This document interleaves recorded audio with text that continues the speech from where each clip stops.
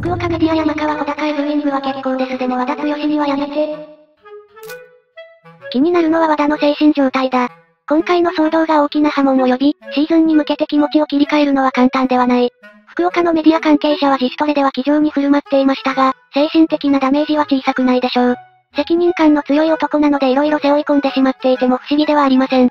西武戦に登板した際は、異様な雰囲気に包まれることは間違いない。西武ファンが山川にブーイングするのは仕方ないにしても、できれば話題のブーイングは控えてほしいです。彼にこれ以上、心の傷を負わせるのは違うんじゃないかと。わがままな願いかもしれませんがと複雑な表情を浮かべる。ソースあって草。森にブーイングして撃たれてたの草。バカみたいな球団だな。山川穂高さん、玉下に現る。今しめ。FA しただけならブーイングもあったろうけど。大イズムを継承することが球団からの指令だから正解やで。草生える。ひどくね？メディア関係者ねえ。山川はええんか。そう思うなら回避すればええやん。出す出さないの選択権は SB サイドにある。どっちも大ブーイングされても文句言えんやろ。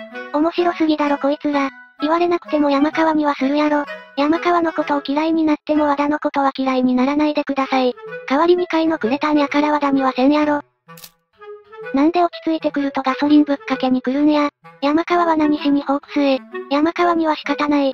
強すぎるやろ。禁止カードな。メディアからブーイングを許容された男。もはやここまで問題が広がったら西武ファンも山川には関わりたくないやろ。ご視聴ありがとうございました。チャンネル登録お願いします。